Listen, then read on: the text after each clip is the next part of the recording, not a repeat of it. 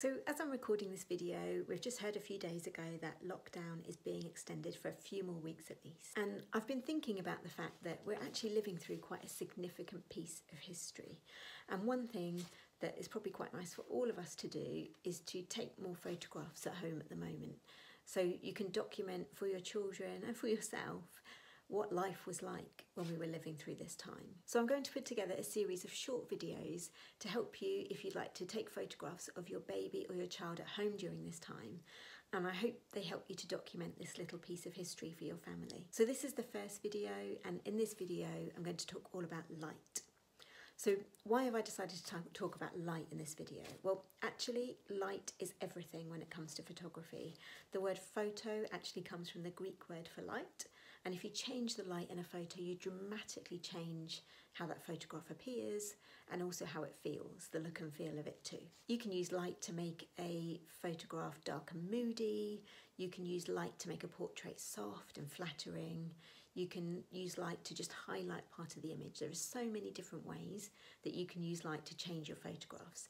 But in this tutorial, I'm just going to focus on three tips that help us to use light in a simple, natural, flattering way so you can take some natural photographs of what you're doing at this time.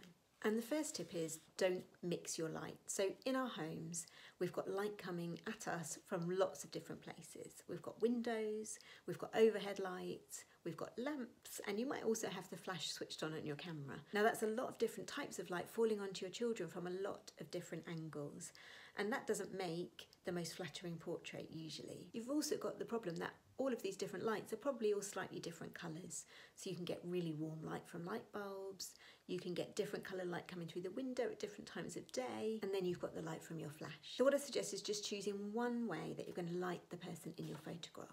So you can switch off all the lights in your house, switch off your flash and just use the window. Or if you want to use a lamp or something else, then shut your blinds, close the curtains and use that lamp instead. Second tip is to switch off your flash. When a professional photographer uses light, they usually modify it or change it in some way. They might use something to make it softer or they might not even point it directly at the person they're photographing. And all of that changes the way that the light looks.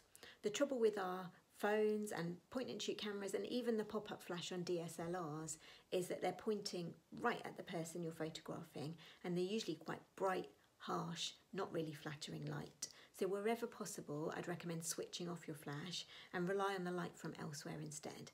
And if it's during the daytime, then I'd always choose to rely on the window light than anything else. And then the final tip is to put the light source behind you so that the light source is behind you and the person you're photographing is in front of you.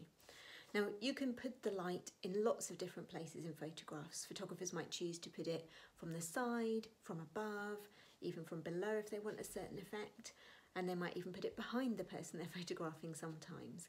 But generally, if you're at home and you just want to take a nice picture of your children, you really can't go wrong if you put the light source behind you and your child or your baby in front of you. So if you look at these photographs, the first one is where my daughter has got the light behind her and obviously the light is lighting up behind her and we can't see much of my daughter. If you take a look at the difference in this second photo, the light is behind me and it means the light is falling onto my daughter so we can see her nice and clearly and she's the focus of the photo.